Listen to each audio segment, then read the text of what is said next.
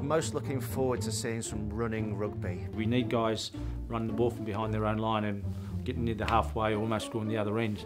It's about the, the people, the supporters that actually uh, will, will go to the games. The last three World Cups have all improved in terms of standard of rugby, markedly. I think the World Cup's moved on again. The amount of people that uh, come to see it and come and get involved, even if they're not at the games.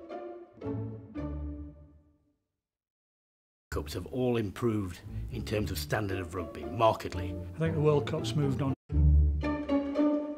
I'm most looking forward to seeing some running rugby. It's about the, the people, the supporters that actually uh, will, will go to the games. The last three World We need guys running the ball from behind their own line and getting near the halfway, almost scoring the other end. Again, The amount of people that uh, come